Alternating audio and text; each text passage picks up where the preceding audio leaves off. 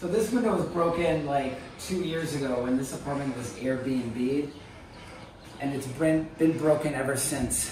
And we've got the elements coming into this apartment. Mind you, people live next to this apartment. Zero degrees outside. It's zero degrees in this room. I want to show you. This is the most troubling part in here. There's a bedroom. You've got a bedroom here, and then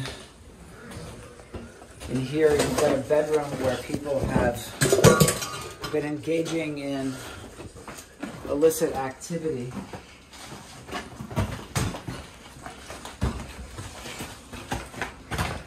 A mattress on the floor, and now this is just so disturbing. Someone lives across the hall from this building. This has been used for all kinds of stuff. And the landlord knows about it. The apartment's not secured. And which number is this? So this isn't the condemned building. This is the This same is landlord Yeah, on West 46th Street. that's right. And the building that we saw boarded up at the press conferences. 412 West 46. And the landlord, what's happening with the landlord?